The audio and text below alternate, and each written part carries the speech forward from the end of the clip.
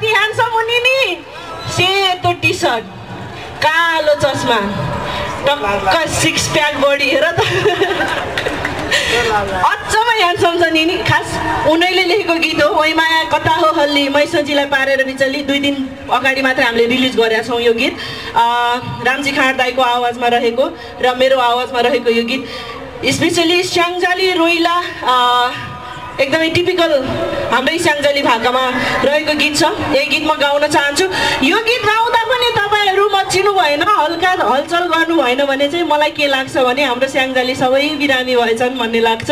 तपाईँहरू सबैजनाले साथ दिनु होला। ताली चाहिँ बजाइदिनु होला है ननासु भए पनि। ओके ट्र्याक प्ले गरिदिनु होला।